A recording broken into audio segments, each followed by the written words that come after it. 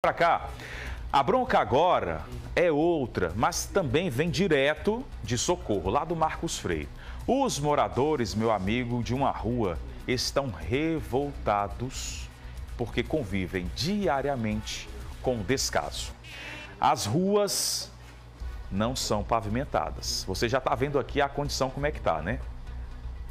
Lama, motorista passa, reclama, morador reclama toda hora e todo dia, é o mau cheiro. Pode subir aí, seu Joel. Pode subir o TP aí, por favor. Pois é, e aí os moradores estão reclamando dessa situação desse esgoto, porque a água suja está correndo pela rua e o mau cheiro, meu amigo, tá ó, demais. O problema maior, segundo a comunidade, é que a prefeitura empurra o problema para a DESO. Chega na DESO, a DESO empurra para a prefeitura. No meio, a população reclamando. Leonardo Barreto foi até lá para conhecer a situação de perto. Coloca a reportagem no ar. Rua Nossa Senhora de Lourdes, loteamento Novo Horizonte, conjunto Marcos Freire 3 em Nossa Senhora do Socorro. Esse é o endereço do descaso. Os moradores que moram aqui convivem diariamente com essa situação. Ruas sem asfaltamento. Pior que isso, sem esgotamento sanitário. A dona Marluce está ali, acompanhada dos vizinhos, indignada.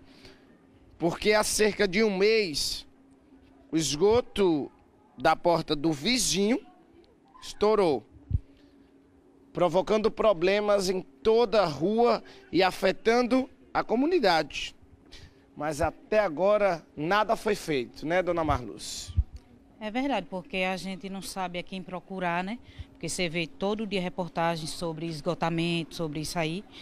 E a gente fica sem saber, tem que chamar reportagem para ver se resolve alguma coisa, porque minha sogra é idosa na porta dela, isso aqui para tomar café, almoçar, é horrível.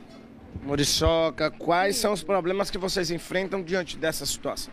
Então, pior o mau cheiro, né? Porque aí parece ser até de fossa, o mau cheiro. É. Então a gente decidiu chamar vocês porque quando chama a TV Atalai a gente sabe que o caso é resolvido, né? Então vamos ver aí o que é que vai dar. Muito obrigado e pelas... apareça alguém, né, para fazer alguma coisa por a gente. Né? Essa é a nossa esperança é. também, né? Que não piore. Isso aí, dona Marlu, seu Reginaldo, esse mau cheiro aqui é diário, é o tempo todo. O tempo todo aqui. Aqui não tem melhoria. Não é só aqui nessa rua não. Se você for na frente da igreja católica, não tem quem suporta. O fedor de fezes e tudo. Essa, no sábado mesmo teve o um casamento, o pessoal teve que deixar os carros tudo lá em cima, porque não tem como encostar na frente da igreja. Tá lá o barranco tudo esgotado, cheio de força lá. Fica difícil viver Fica assim, difícil. né? O trator da torre veio fazer serviço nessa rua aqui, entrou ali nas postas da mulher, estourou, botaram uma estampa de ferro, até hoje está lá. Tem mais de ano que está lá. E nada por resolver. Disseram que vinha voltar para resolver e não resolveram até hoje. E esse é um problema que não atinge somente essa rua. Tem várias ruas aqui no loteamento que também tem esgoto correndo assim pela rua. Céu aberto, é verdade. Aqui, se for olhar todas as ruas que tem aqui, é quase toda estourada. Já buscaram a DESO, a prefeitura do município? Já buscaram a prefeitura, mas disseram que é com o DES. O DES o empurra para a prefeitura e assim fica. E até lá vocês ficam tendo que Tudo conviver com essa situação. Tudo no mau cheiro aqui. Ok, seu Reginaldo, muito obrigado pelas informações. Tá aí. Que seja a DES ou que seja a prefeitura, o que os moradores daqui querem é que de fato a situação seja resolvida. Do loteamento Novo Horizonte em Nossa Senhora do Socorro, Leonardo Barreto.